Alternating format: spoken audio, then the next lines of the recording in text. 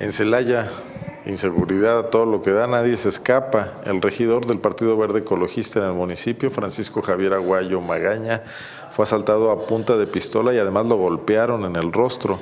Estos hechos ocurrieron eh, por la noche del pasado viernes a las 8 de la noche, casi las 9, en la colonia Arboledas, a unos metros de llegar a su casa. Dos hombres a bordo de una motocicleta. ¿Le suena a usted quizás esto? Aquí en León también ocurre, le suena común. Armados, iban armados, bajaron de la motocicleta y se acercaron al vehículo del servidor público. Le pidieron que detuviera la marcha del auto, le apuntaron con una pistola, Posteriormente le quitaron el teléfono celular, su billetera con 2.500 pesos y no contentos con esto, le dieron un golpe en la cara. El integrante del ayuntamiento dijo que llamó al 066, pero el teléfono estaba fuera de servicio, imagínese. Cuando los ciudadanos lo hacen no tienen con quién quejarse. Hoy el regidor podrá hacerlo en el ayuntamiento.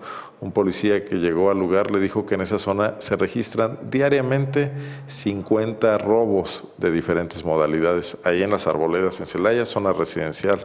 Escuchemos al regidor ecologista Javier Aguayo fue a poner la denuncia.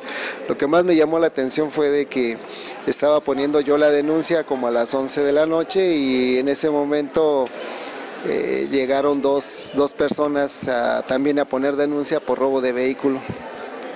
Sí. La verdad, la verdad, sí. De hecho, uno de los policías que, que llegó ahí a asistirme me dijo que más o menos por esa zona andaban entre 50 robos diarios.